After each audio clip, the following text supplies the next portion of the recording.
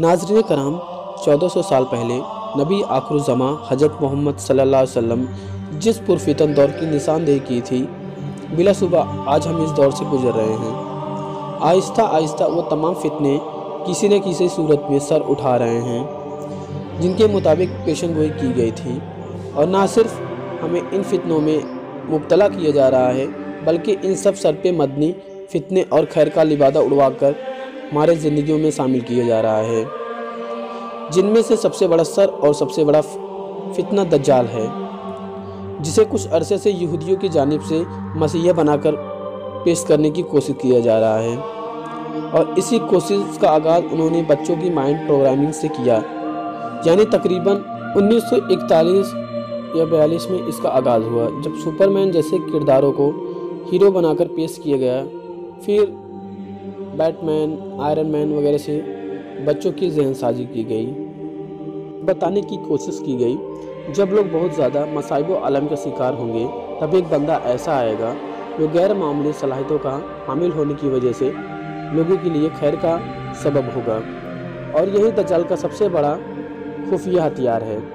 خواتین و حضرات، حضور اکرم صلی اللہ علیہ وسلم کی حدیث مبارکہ کو پڑھ کر اور سمجھ کر آج یہودی ہر وہ کام کر رہے ہیں جو ان کے مطابق ان کے مسیح دجال کی خسنودی کا باعث بنے۔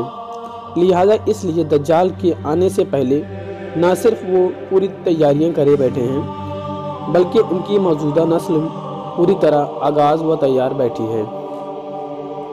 دوستو، دجال کے حوالے سے پوری دنیا میں منجم کٹر یہودی تنظیم جو دجال کے ہر وہ اول دستے کا کام کر رہی ہیں۔ پوری طرح لوگوں کے دماغوں کو اپنے شہر میں کرتے جا رہی ہیں۔ جبکہ عرصہ دراز سے اس گھنونے مشن پر کام کرتے ہوئے اب حالات یہاں تک پہنچ چکے ہیں کہ پہلے جو کام زمانی الفاظ کے صورت میں سنائے جاتے تھے اور جو کام چھپ چھپا کر لوگوں سے کروائے جاتے تھے، اب وہ کھلے عام لوگوں کے سامنے پیش کیا جا رہا ہے۔ جی ہاں ناظرین نیٹفلکس نامی ایک سیونی آن لائن مووی کارپوریشن نے ایک نئی سیریز مسیحا کے نام سے لانچ کی ہے، جس میں دجال کا کردار ادا کرنے والا بلگارین اداکار مہدی دہبی کے نام سے ہے،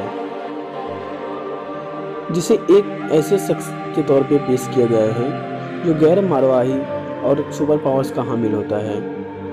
اور جنگ و جدل موالک شام اسرائیل فلسطین میں نمودار ہوتا ہے۔ دوستو، اس سیریز میں مزید دکھایا گیا ہے۔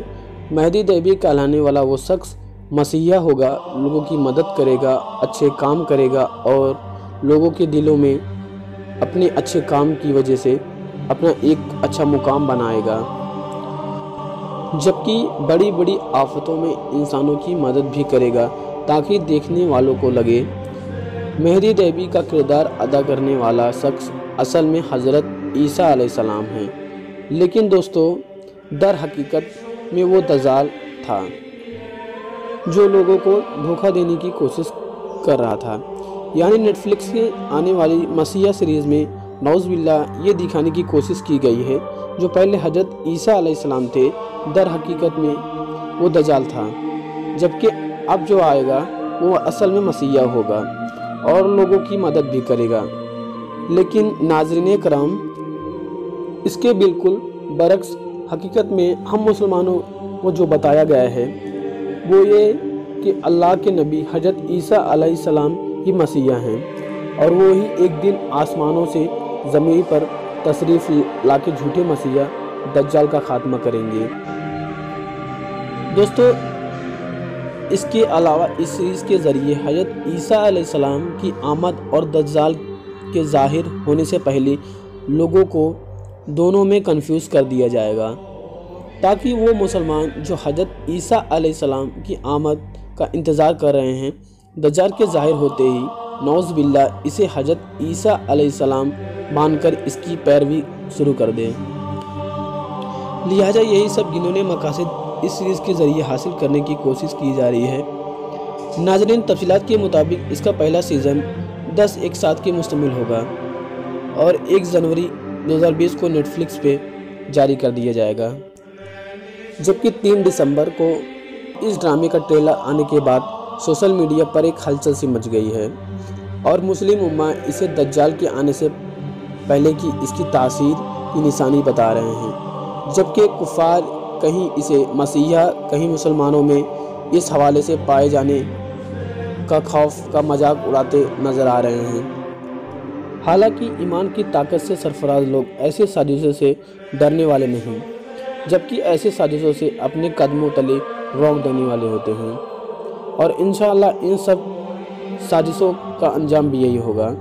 لہذا تمام اہل ایمان سے گزارش ہے ایسی چیزوں سے دور رہیں۔ تمام دوستوں اور خاص طور پہ علماء اکرام سے دست بستہ گزارش ہے۔ لوگوں کو مسلکی اور غیر مسلکی بحثوں میں الجھانے کے بجائے زیادہ سے زیادہ دجال اور اس کی سازشوں کے مطابق آگاہ کریں۔ کیونکہ ہمارے پیارے نبی حضرت محمد صلی اللہ علیہ وسلم نے دجال کے فتنے سے مطابق بڑی صدمت سے آگاہی دی ہے۔ اس کا فتنہ اس طرح شدید ہوگا مایوسیوں پرسانیوں اور بد عقیدہ کمزور مسلمان اسے اپنا خیر خواہ ولی وغیرہ سمجھ کر اس کے پیچھے ہو لیں گے۔ اللہ تعالیٰ سے دعا ہے کہ اللہ پاک ہم سب کو اس فتنے سے اور یہودی سازشوں سے اپنے پناہ میں رکھے۔